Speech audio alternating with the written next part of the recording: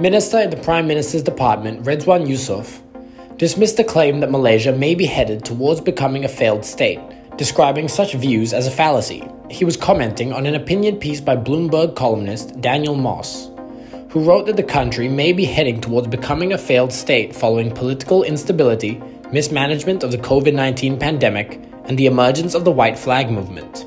There is still law and order, the government and its delivery systems are functioning. There is no sign that the system is breaking down. Yes, there are challenges because of COVID 19, there are some restrictions on movements, but society is still functioning. Redzuan said while the government was open to criticisms, it was unfair to be selective with information and then make sweeping conclusions.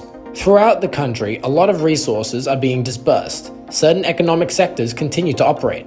People are free to go out to get essentials, go to the bank, and so on. There is no clampdown on criticism of the government. People are not denied their right to lodge police reports against anyone, including government leaders.